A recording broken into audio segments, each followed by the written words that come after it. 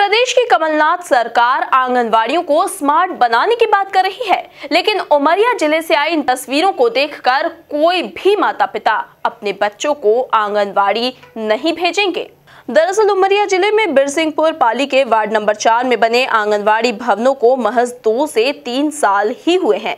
लेकिन इनकी हालत देखकर ऐसा लगता है कि शायद इन भवनों को सदियाँ बीत चुकी हैं। ठेकेदारों और जिम्मेदारों के भ्रष्टाचार के चलते इन भवनों की हालत इतनी कमज़ोर हो गई है कि इन भवनों के पास से जब ट्रेन गुजरती है तो भवन के छज्जे टूट टूट कर गिरते हैं, जिससे यह डर बना रहता है कि कहीं कोई हादसा न हो जाए।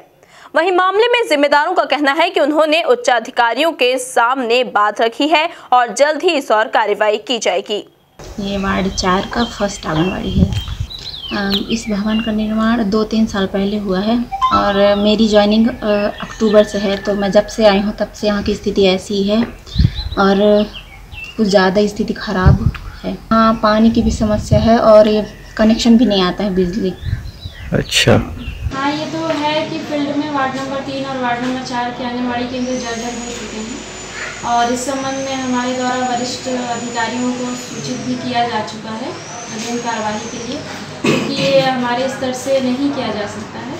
इसलिए हमारे द्वारा वरिष्ठ कार्यालयों को सूचना इसकी दे दी गई है और संबद्ध कार्य भी इसमें बरसात के बाद प्रारंभ किया जा सकता लाइट के लिए हमारे विभाग में ऐसा कोई फंड नहीं है अभी।